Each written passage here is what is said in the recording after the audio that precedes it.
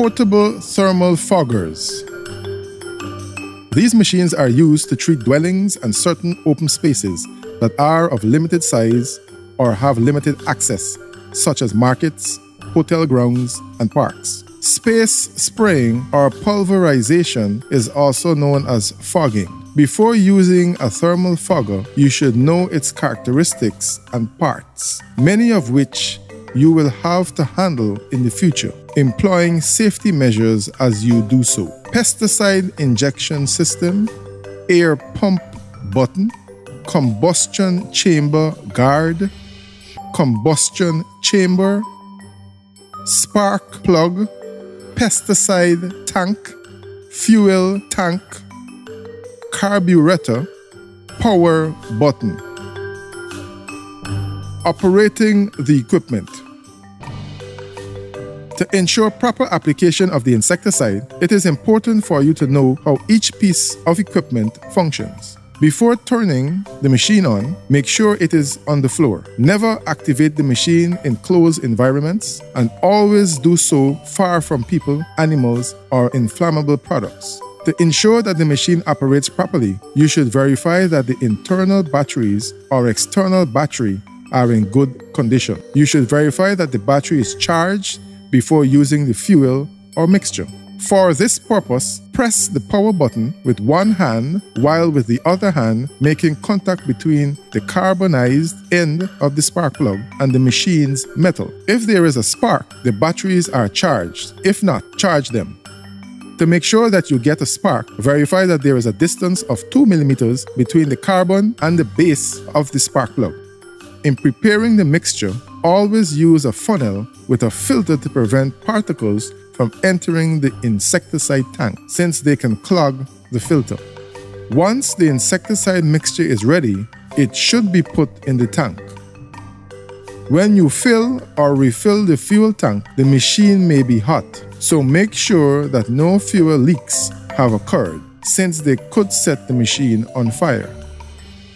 The machine is activated by pressing the power button, which is located beside the fuel tank opening. Then you should pressurize using the hand pump or air pump. When the spark plug ignites the gasoline air mixture in the combustion chamber, gases exit the long exhaust tube, the end of which has a nozzle that injects the insecticide to be vaporized, producing a dense white fog. Once the machine is activated, the batteries stop functioning and the carburetor takes over continuing the process of vaporizing the insecticide. In most machines, the flow rate is controlled by adjusting the discharge to halfway, usually to between 5 and 6 on the dial.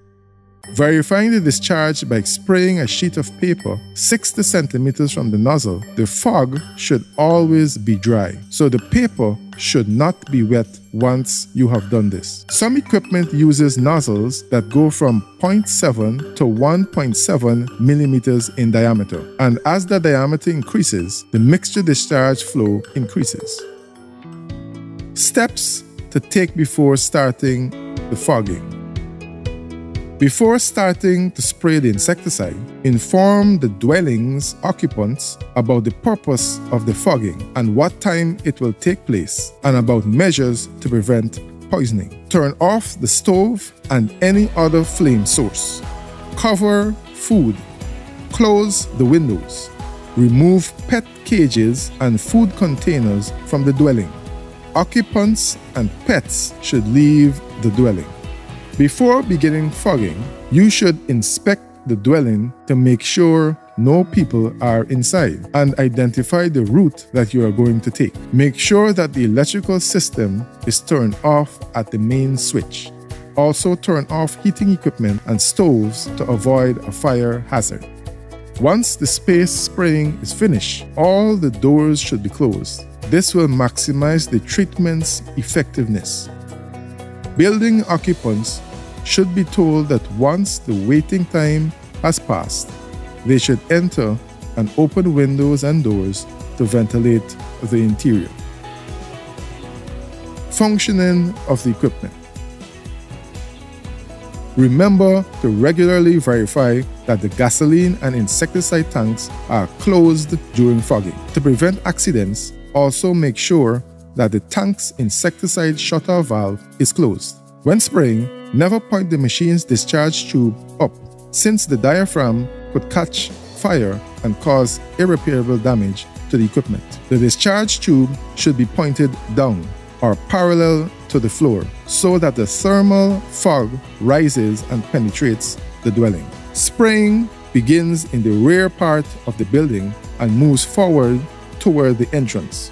In small spaces, the spraying can be done from the entrance or from a window without having to enter the dwelling entirely. In buildings with several stories, space fogging begins on the upper story, moving downward toward the ground floor, and from the rear part of the building toward the entry, walking backwards and moving away from the fog in order to minimize exposure to the insecticide and to ensure visibility for the operator. To turn the machine off once the fogging is finished, the mixture's shutoff valve should be closed to prevent more insecticide from being released. You should wait 5 to 10 seconds before shutting off the motor. Lastly, you should slowly open the covers of the two tanks to release all the pressure in the tanks and prevent any potential combustion of the gases. Calibration of the equipment. Remember that calibrating the equipment ensures that the correct dose of insecticide will be vaporized. You should calibrate the machine periodically. Normally, after 25 hours of operation or when scheduled maintenance is performed. Proper calibration requires that the specific instructions provided in the manual be followed. You should also measure the size of the insecticide droplets after every 50 to 100 hours of operation and after any long period of disuse, as well as when changing insecticides. You will find various techniques for measuring droplet size in Space Spray Application of Insecticides for Vector and Public Health Pest Control, a practitioner's guide. Equipment Maintenance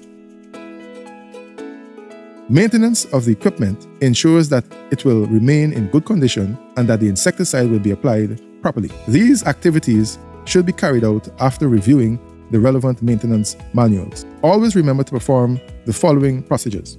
Drain the tank of insecticide after each use. Clean with kerosene or diesel. Stir and empty. Clean the discharge tube after every 4 hours of use.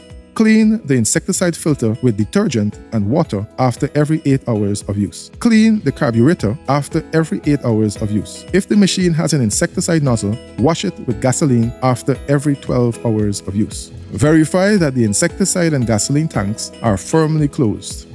Otherwise, there is a risk of moisture or dirt coming in contact with the mixture or the fuel. Clean the spark plug, removing carbon remains.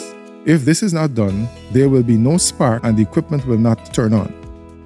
Verify the state of the batteries and their functioning by making the spark plug spark as indicated above. If the machine has a piston, you should grease it and make sure the protective screen is in place. Store the machine with the tanks closed in a dry environment protected from the sun.